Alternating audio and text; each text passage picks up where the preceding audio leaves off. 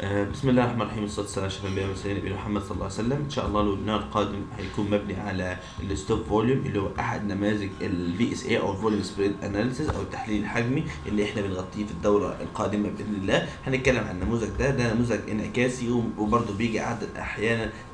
استمراري هتكلم على نموذج واحد من النماذج دي ستوب فوليوم كده نموذج هتكلم على ابسط نموذج فيه وبرده هنضيف باحث على التيكت شارت يفيد الناس في الاستخدام ده بالاضافه التطبيق هيكون على الاسهم وعلى العملات أتمنى يكون إن شاء الله ويبنى مفيد ونأمل حضور الجميع